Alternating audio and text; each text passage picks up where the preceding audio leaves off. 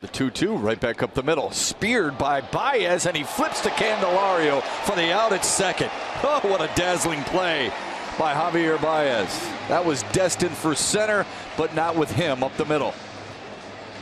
The awareness of knowing where second base is as he's diving to his right, he knocks the ball down. It pops out of his glove.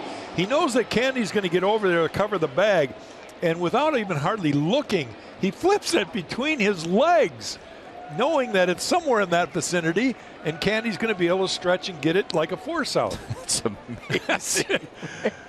oh my, that's big league right oh, there. Oh, you bet.